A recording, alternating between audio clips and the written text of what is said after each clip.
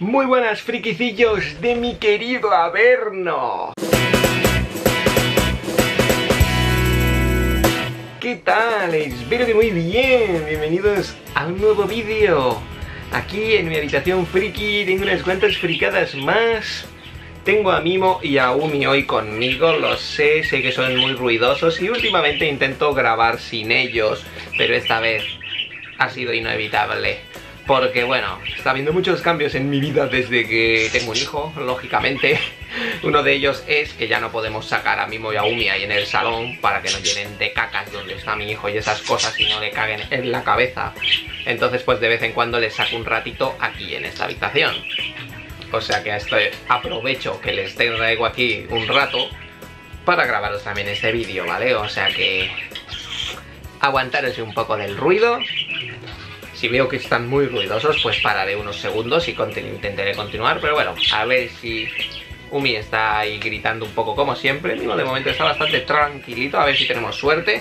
Y nada, otro de estos grandes cambios que ha habido últimamente lo estáis viendo aquí a mi lado. El poderoso Metal Gear Rex ha llegado al fin a la habitación del friquismo. no sé si lo sabéis, pero bueno, yo tenía este pedazo monstruo que me lo compré ya hace bastante, pero lo tenía ahí en el salón, en un lado de la tele, que estaba ahí épico. Pero claro, ya soy padre de esas cosas, soy un tío serio, ya no puedo tener robots gigantes en mi salón. bueno, más bien porque hay demasiados trastos de Yu y demás, entonces pues me ha tocado traérmelo ya aquí, que bueno, era su... Tarde o temprano sabía que vendría aquí, de momento no lo tengo colocado ni nada, lo he dejado de momento aquí. Y bueno, ya buscaré su sitio. Y dicho esto, ¿por qué no empezamos a ver fricadas? Hoy, bueno, voy a empezar con la mega máxima épica, una muy importante, termino una nueva saga de la vida, tengo amigo ahí. una nueva saga termina Pensé que nunca lo conseguiría, la verdad, cuando la empecé tanto tiempo atrás creí que me estaba metiendo en una locura imposible. Pero hoy ha llegado la última de las figuras de Slamdunk. ¡Ryota! Hace no sé unas cuantas semanas o meses ya atrás conseguía a Kagi, el penúltimo que me faltaba, pensando que, ¡buah! que no lo iba a conseguir jamás. Lo llevé por el mismo precio que este, 10.000 yens exactamente. Y Umi se vuelven mega locos con los plásticos. Es cuando más ruidosos se ponen, ¿vale? O sea que cuando esté desenvolviendo plásticos intentaré no hablar mucho y si veo que es imposible, pues cortaré esa parte. Bueno, pues como comentaba, hace mucho yo empecé esta colección cuando encontré al prota por solo unos 6.000 yens más o menos y flipé porque esta colección era muy cara y yo lo sabía, pero dije, bueno, si los voy consiguiendo en plan baratillos, molaría. Conseguí luego a otros dos por unos 7.500 cada uno. ¡Cállate! Solo me faltaban dos que solo veía por unos precios imposibles, que era Ryota y Akagi, los dos últimos estaban por mucha pasta y pensé que iban a ser imposibles. Conseguí Akagi hace no mucho por 10.000 exactos y el destino quiso que hace un par de días encontrase casualmente en la misma tienda que había encontrado meses atrás Akagi a Ryota. Está perfectísimo, ¿vale? Tiene la caja increíblemente perfecta para ser supuestamente de segunda mano y para haber valido la mitad o tres veces menos que lo que había visto yo en otras tiendas, ¿vale? Este era de los que estaba por 30.000 yens y estaba yo acojonadísimo pensando que en mi vida iba a conseguir completar la colección sin arruinarme. Pero no, mira, al final lo he conseguido. Por eso además hoy me he querido poner aquí porque como perfectamente se ven ahí detrás los demás, es lo mejor. ¡Cómo mola Dios! Lo que significa que hice cuentas y más o menos todos los pers al final los 5 me han salido en total por unos 40.000 yens, creo que conté. Serían unos 350 euros. La verdad es que es un pastizal para unas figuras, porque yo nunca he pagado tanto por figuras. Pero las 5 figuras de Slandan originales japonesas, no versiones chinas cutres, que las hay, ¿no? La versión buena de las 5 posiblemente se encontrarían por mucho más pasta. O sea, es más, si algún día me vuelvo pobre, como digo muchas veces, y las quisiese vender, vendo el pack de las 5 juntas aquí en Japón, casi seguro que podría sacar quizá el doble más o menos de por lo que he pagado. Yo creo que por unos 80.000 yens no me extrañaría que alguien me las comprase. Pues aquí tenemos a Ryota, amigos. Una figura épica junto con todas las demás. Ahora podré juntar todas sus plataformas bien y ponerlos todos juntos. Pues no sé cómo los voy a poner, ya lo pensaré, pero bueno, ya veis que la figura es muy buena, épica y como todas las demás. Joder, qué silenciosos están ahora mismo Yumi, ojalá estén así todo el rato. Y la voy a dejar aquí al lado de, de metal, aunque no... Oh, sí que se ve. Oh, perfecto.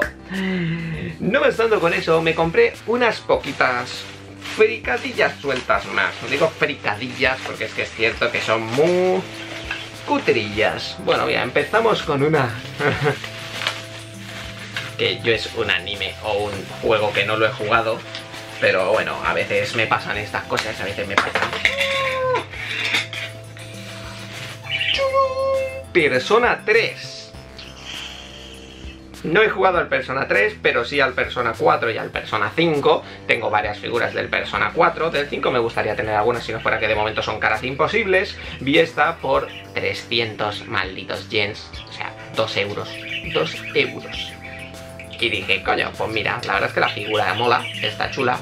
Bueno, el personaje lo conozco realmente un poco por, por el juego del, del baile, de baile, ¿vale? Me compré de Play 4 hace poco el Persona Dancing este 5 y 3, el pack de los dos juntos.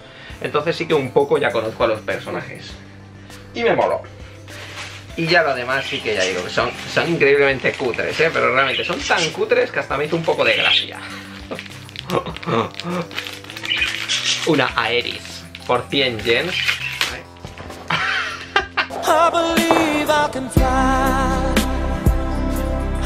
Qué pena que en la cámara no se habrá visto, pero ha volado y ha terminado en el sofá aquí. ¡Ah!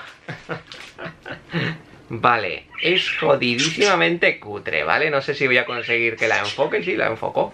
Ya veis que es increíblemente fea, pero poco a poco me estoy haciendo una colección de muñequillos de Final Fantasy, de varios Finals. Y bueno, es cutre, pero para poner ahí junto con los grandes que tengo del Sephiroth que hace poco compré y demás, le he quitado lo de esto porque no los quiero en modo llavero, o sea que el llavero me la suda esto fuera.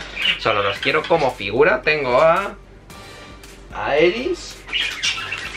Y de la misma colección igual de cutres por 100 yens cada una estaba Edea y Kistis del Final 8. ¿Eh? Me elegí estas porque eran las únicas que había, ¿vale? No por otra cosa, no porque me gusten más que otras ni nada. si hubiese habido más, me hubiese llevado más. Bueno, luego quito, luego les quito esto. Edea igual de fea. es que tiene una cara de mongol que madre mía. Y Kististrepe. Kististrepe que también es medio retrón. Esta ni la enfoca de lo que joder. A ver, Kistis, ¿no te vas a enfocar? ¡Guau! Le ha costado, ¿eh? te ha costado encontrar tu cara. Está mismo diciendo, madre mía, ¿qué es esto? ¿Qué es esto? Pues esta se supone que es una personaje del Final Fantasy VIII. Y para terminar, este es de recolección. Estos sí que son monos. Estos sí que me gustaría conseguirlos todos. Esto es, estaba por 200 yens. O sea que, euro y medio. Y bueno, es el del Final 12. Hay algunos que molan bastante más, la verdad. Como veis, molaría tenerlos todos. De momento solo encontré este. Y bueno, el Final 12, no sé si os conté la historia, creo que no. Ah, está feliz con idea. y bueno, ahora jueguetea con ellas. Yo nunca había jugado al Final 12, es el único Final que no lo había llegado a jugar. Me lo compré hace poco en Play 4, la versión HD, y al fin me lo pasé. Esto no cabe. no sé cómo lo he conseguido meter. Bueno, este es muy pequeño, lo un poco bien. Bueno, pues ya digo, para mi colección... Y vamos, toma otro más para jugar. Para mi colección de cosillas de Final me haré una estantería de estas, solo un hueco con cosas de Final, que ya poco a poco van viendo unas cuantas y es difícil porque aunque esté en Japón, las cosas de videojuegos suelen ser difíciles y carillas, y pocas. Bueno, para terminar me compré lo que me pesó un huevo, que madre mía ese día que compré esto y me tiré todo el día cargando esto, me jodió vivo. La verdad es que yo no soy nada de Artbooks, ¿vale? Nunca compro Artbooks. Pero es que parece que el destino me dijo, llévatelos, hombre, Razi, llévatelos. Vale, son los artbooks originales de One Piece, el primero, que salió en su día por 1200 yens, que lo pongo aquí detrás, por 200 yens. Un euro, euro y medio. El 2, por un euro y medio también. El 3, y el 4. Los malditos 4 color wall. Los wall. Los. Joder, iba a decir wallpaper, no sé por lo de wall. Los 4 artbooks originales. Que hay más de estos, eh, creo que hay 6 o hasta 7. Pero bueno, estos son los primeros. Por 200 jeans cada uno. Cago en la puta, Ichiroda, me vas a joder la vida. ¿De dónde meto yo ahora los artbooks? Si yo no tengo hueco para artbooks, nunca he pensado en tener artbooks, no quiero hacer una colección de artbooks, ni me interesan especialmente los artbooks, y no sé cuántas veces he conseguido decir la palabra artbook en 30 segundos, pero, como siempre digo, hay algo que me tienta demasiado, y es encontrar cosas chulas por precios imposiblemente baratos, ¿vale? Vamos a verlo un poquillo, pero bueno, son simplemente bocetos y dibujos es lo que es un artbook de del, principio de One Piece, por supuesto. Estamos hablando que este es el primero que salió, no sé en qué año, pero es del principio, ¿vale? Va aquí. Fotillos súper chulas. La verdad es que está muy chulo. Los diseños, los bocetos y todo. Cualquier fan de One Piece, pues como va a decir lo contrario, ¿no? Y si te vale un euro, pues me cago en toda la puta. Me cago en toda la puta. Incluso hay bocetos de algo que no es One Piece, pero se lo parece. No sé si fue el manga de Guantes, este el primero que hicieron y demás. Voy a ver, por ejemplo, también el 4, el último, para ver hasta dónde más o menos sale por aquí. Otro de los cambios de esto, de tener hijos y demás, es que yo no sé por qué, pero me ha desaparecido el cúter este que tengo yo siempre aquí para abrirme las cosas estas de plástico, no tengo ni de dónde se ha ido. Supongo que Manami lo usaría para algo y no lo tengo ya aquí. Entonces, pues estoy aquí jodiéndome teniendo que abrir... ¡Hijo puta! ¡Qué cabrón! Siempre tira la misma figura. Es que se la sabe el Mimo. Mimo. No te subas ahí. ¡No te subas! Me va a tirar otra. Me va a tirar otra el cabrón. Pero bueno. está, está con el Makishima. Y está todo emocionado.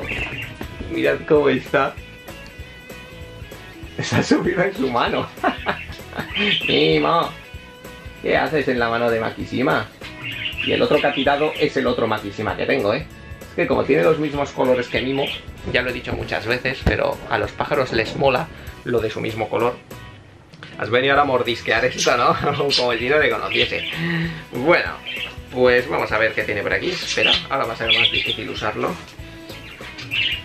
Podemos ver que las tetas de las féminas han crecido unas cuantas tallas desde el artbook anterior.